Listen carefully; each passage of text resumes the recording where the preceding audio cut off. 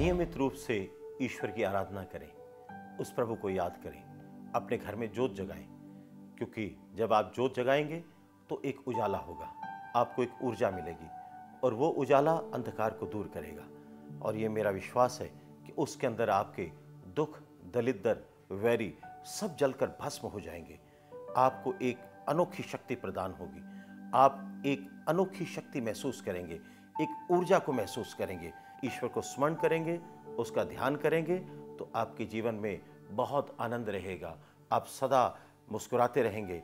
आपको एक अच्छी सोच मिलेगी। आपके दिमाग में, आपके माइंड में एक बहुत अच्छी अच्छी बातें आएँगी। तो कहने का मतलब यह है कि आप नियमित रूप से उस ईश्वर का ध्यान करें, उसकी जोत जगाएँ और एक ऊर्जा की प्राप्ति करें।